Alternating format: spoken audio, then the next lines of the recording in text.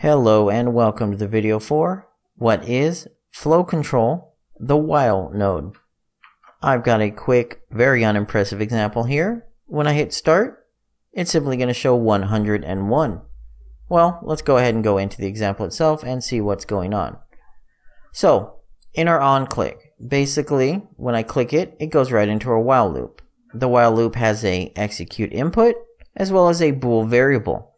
If this bool is true, the while loop will execute and it will continue doing this loop over and over and over and will never stop until this becomes false or you hit a built-in limit in the engine to prevent a engine lock.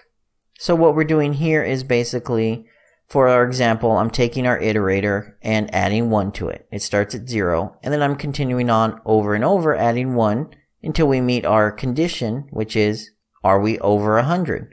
If so, we set the should we loop to false, and the next time this while loop executes, it will say, oh, it's false, and then I print out our value.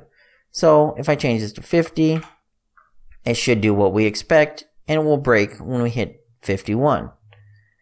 The while loop is nice if you have a set of things that need to be looped over and you have a certain condition that needs to be met. Maybe you're going to loop over all of the current NPCs that are in your game, and one of them has a key that you're looking for, but you don't know which one.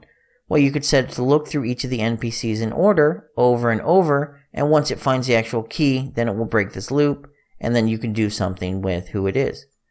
Now, one of the keys here is um, as it is looping through, it will continue until it is broken. You need to make sure you have a valid condition here. Let's say, for example, we never set this to stop and we run our example. Well, down here, you'll see an error warning reported in the editor. And if we open it up, you'll see an infinite loop detected. Unreal Engine does a good job of trying to stop infinite loops if it detects them. However, it is not perfect. If you are playing with a while loop, you need to make sure you have a break condition or you could lose everything. It will continue and you will have to force close down the program.